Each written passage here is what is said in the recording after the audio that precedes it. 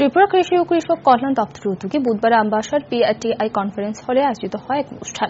অনুষ্ঠানে উপস্থিত ছিলেন উপজাতি কল্যাণ দপ্তরের মন্ত্রী রামপদ জমাতিয়া, এছাড়া ছিলেন আমবাসা ও সালিমা পঞ্চায়েত সমিতির চেয়ারম্যান ধলাই জেলা পরিষদের সহ সভাপতি সহ দপ্তরের আধিকারিকগণ প্রদীপ প্রচলনের মধ্য দিয়ে এদিন অনুষ্ঠানের সূচনা করেন মন্ত্রী রামপদ জমাতিয়া। এই অনুষ্ঠানের মধ্য দিয়ে জেলার কৃষকদের ব্যাংক অ্যাকাউন্টে কৃষক সম্মান নিধির অর্থরাশি বোতাম টিপে অ্যাকাউন্টে ট্রান্সফার করেন মন্ত্রী।